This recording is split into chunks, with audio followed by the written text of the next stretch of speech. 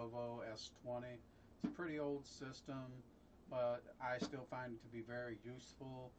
Um, until recently, I was using this as my backup system, not to back up my computers. I have a server for that. Um, I was using it as a backup for my main computer, and that everything I had on my main computer was also on here. I kept basically all the same programs and all of the files. So one of the ways I do that is I have something that I always name E drive and it's the letter E on each system. Um, I use it to keep all of my files so that if I go from computer A to computer B, I have everything, it's all in the same place, all works exactly the same. So it's a bit overkill for a lot of people, but because I use it for business, it's always nice to have that backup. And I have actually over the course of many years used it a couple times. So more than paid for the system. Now, a lot of people think, well, that's too much trouble. It's a lot of trouble, extra expense, everything to keep this system updated. Well, it's actually not that much trouble because I use a program to do the backups over a network. So all the files from my main computer move to this computer every day um, from you are using a backup utility.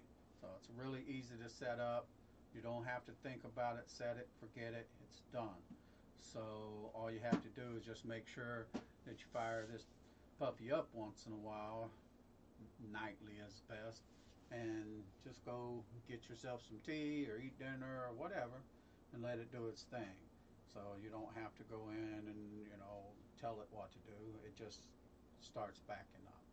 So um, it's got an old graphics card in it. It's a GTX 560. Really old graphics card, very power hungry. Um, it's just not a very good graphics card. Um, I'm going to upgrade it slightly. I'm going to put in a GTX 960.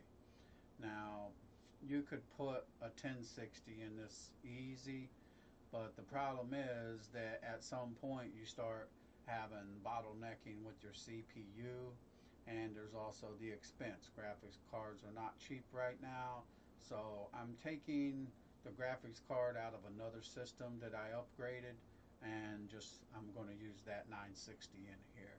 Um, for the purposes of a, a, backup system, it would be great. And for now, what would be like, it's going to be like my fourth fourth option. So for a fourth option, it's way good.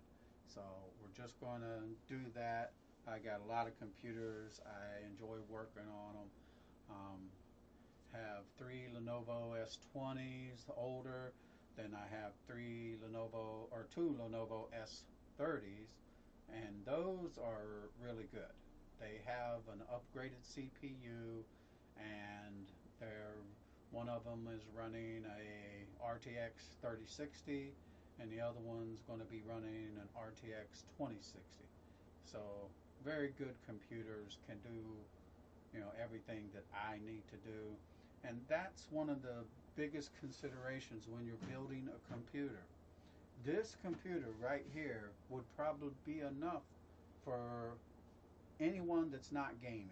If you're not doing any kind of serious gaming, this is more than what you need.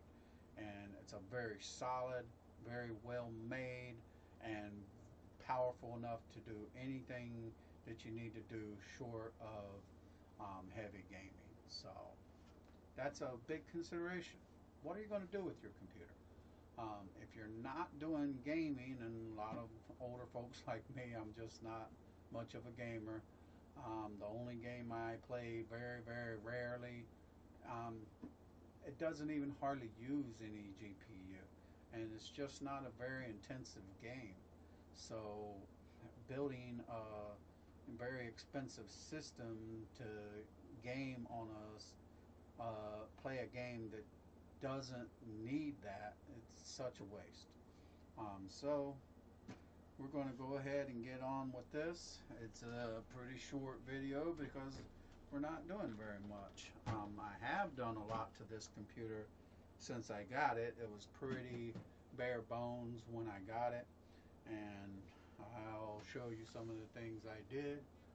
Um, let's fire up the other camera. My phone.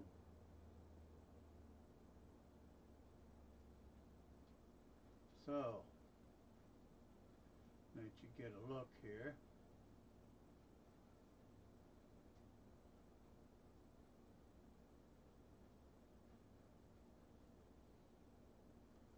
Okay, there you go. One of these days I'll get a second camera that works a little better, but I kind of like using my phone. So one thing you'll see is the cases are very easy to open. Just pull that, pop it up. Um, you look inside, you're going to see a very well made system. It has six memory slots, um, three drive bays, they're even numbered. It's it's, it's great. Um, I have um, two DVD players in here because I do use this sometimes to clone DVDs. Um, I send copies of some of the stuff to my sister. Um, don't really do that much anymore. Now I'm just copy a drive and send that to her um, with backups of stuff. So I have a offsite backup there. I have an offsite backup on online storage. Um, have my pictures in the cloud and I have them on my server. So a little bit overkill, but if it's important to you, don't just have a single backup. You want to have multiple backups, and it's, it's that's truly fail safe. So I put in an extra drive or DVD drive. I also put in an SSD. It's just kind of hanging there, but yeah, it works fine. Um, I also put in three hard drives. So I have uh, one terabyte, which is kind of, I always have my E drive that I spoke of earlier on a one terabyte. Um, years and years ago, it was on a 500 gigabyte, but now they're all on one terabyte in every system. Um, but I also have the four terabyte drives to hold a little bit more stuff. Um, I'm going to show you one more thing I did to this system. Um, well, two more things. One, I added uh, a SATA card in here to give me more um, SATA connections. So that's another thing I did. And another thing I did was I used the second, this has two PCI X16 slots, which is great. You could run two cards if you want. Not much use in that these days, but that second slot is a perfect place to put uh, a NVMe drive. So I have an M2 NVMe drive, 500 gigabyte um, Crucial in there. And so what I do is I install all of my programs on that drive and that frees up the Samsung SSD to just handle the operating system. It improves performance slightly. It's probably not, you know, that much, but hey, I like it. So there you go. Um, the CPU was a pretty old 4-core 8-thread. That was upgraded to uh, 6-core 12-thread. Not the fastest CPU you ever saw, but it's fast enough to handle just about anything the average person would do. Not a great gaming CPU, but just about anything else, it's, it's more than adequate. So here's one more thing that's really great about these Lenovo S20s is you have a 6 pin and an 8 pin for power supply for your graphics cards. Now the graphics card I'm using today is only going to require a single 6 pin. But th this old ancient 560 required two six pins. So we have that. So we're going to get rid of that. Pull that out. I don't know if we'll keep that or put it online for sale or whatever. Somebody might still want it. And we're going to drop in, no, not that one. We're going to drop in this one. So uh, it's an EVGA GeForce GTX 960 FTW. It's a pretty decent graphics card. It's got an 8 pin connector. It's a little more heavy duty than the 960 I pulled out of the other system. I was going to use this one, but I think I'm just going to use this one. So, nice graphics card for this system. It's a good match for the CPU. Um, you can go online and they have a website that allows you to check whether or not your graphics card is going to be CPU bound. Now, whether or not it's going to be CPU bound depends on more than just the graphics card itself and the CPU. It depends on what you're going to do with them. So, um, it offers you options where you can enter, you know, those different things that you might be doing with them. And it'll tell you, you know, if you're like doing video rendering or um, if you're yeah, move these cables.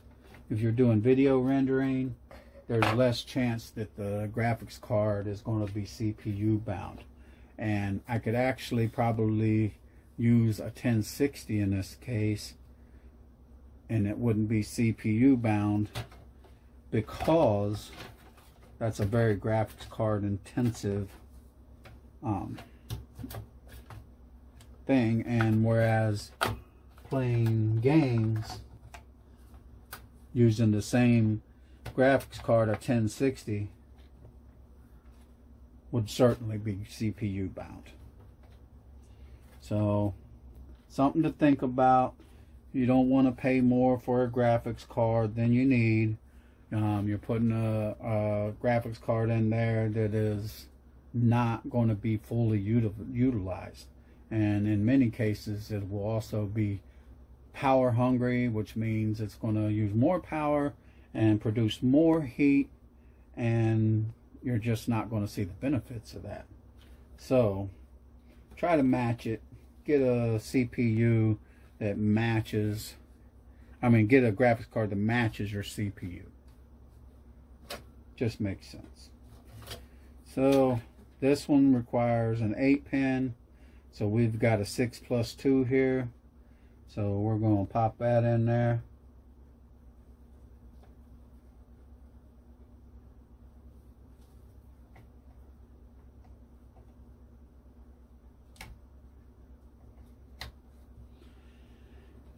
There we go. We got the six in. Plus two. Now this system has a really good stock power supply. Um, it's a 625 watt, 80 plus bronze. So not the best in the world, but very good. So it's a high quality power supply.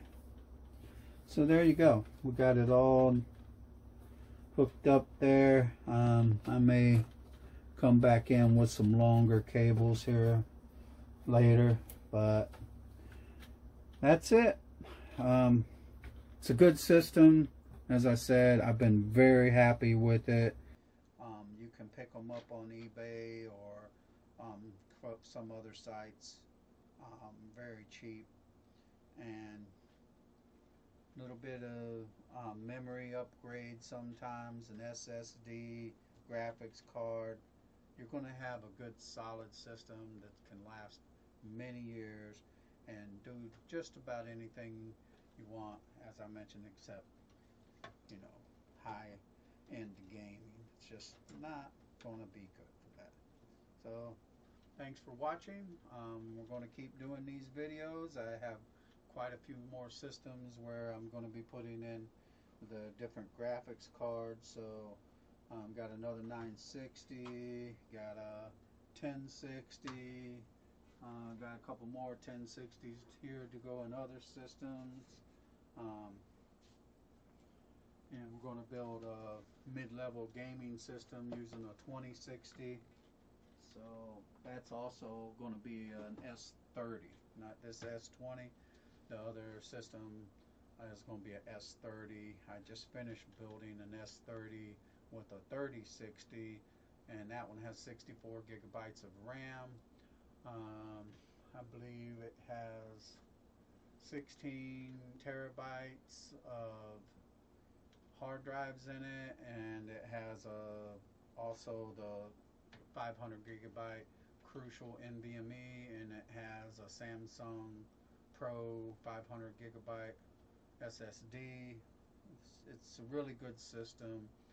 Um, so looking forward to finish setting that one up and that's going to be a video editing system.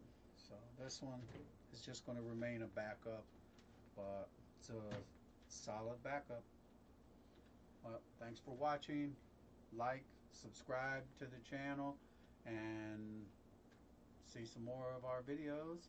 We're going to finish up our series of upgrades to my business computers and my daughter's gaming computers and then we're going to move on to some other topics um, that has to do with computers and tech um, mostly to do with the same thing as this. Building a computer that matches your needs without breaking the bank. So have a great day. Thanks for watching